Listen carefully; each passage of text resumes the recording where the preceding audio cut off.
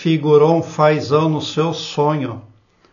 O internauta compartilhou conosco o seguinte: Bom dia, meu irmão. Me chamo Leandro e queria saber o significado de sonhar com a ave chamada fazão. Agradeço muito de coração sua resposta. Bom, no card deste vídeo eu tenho uma playlist Sonhos com Aves e Pássaros. Dê uma olhada porque os vídeos vêm a somar. Bom, os elementos de um sonho precisam ser considerados porque eles são relevantes para que você possa entender a mensagem que o seu subconsciente quer trazer à luz da sua realidade.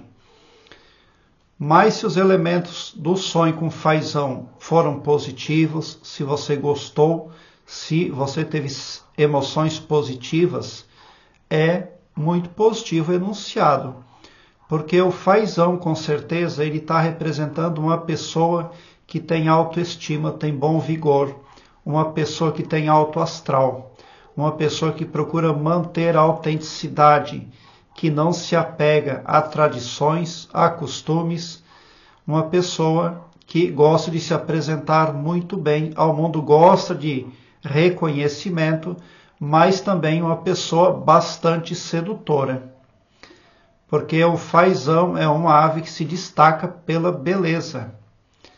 E se você visualiza um fazão em sonho, você está, na verdade, vendo uma pessoa bastante criativa, bastante sedutora, porque o fazão ele gosta muito de fazer uma apresentação para sua fêmea. Ele até dança um pouco, ele é bastante exibido. E quando ele quer conquistar uma fêmea, ele não mede esforços para mostrar todo o seu talento, para mostrar toda a sua beleza. Você está vendo aí no sonho a pessoa que se esforça para parecer como encantadora, como bela, como formosa, porque o fazão é uma ave que lembra autenticidade, o poder pela autenticidade em si.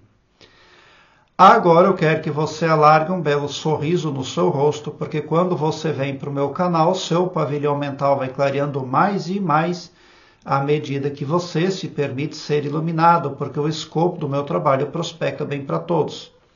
Obrigado por seu like.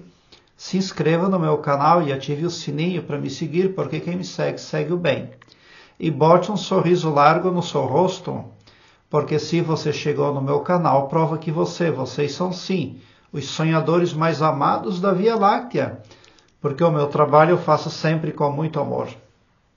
Muita gratidão por assistir aos meus vídeos.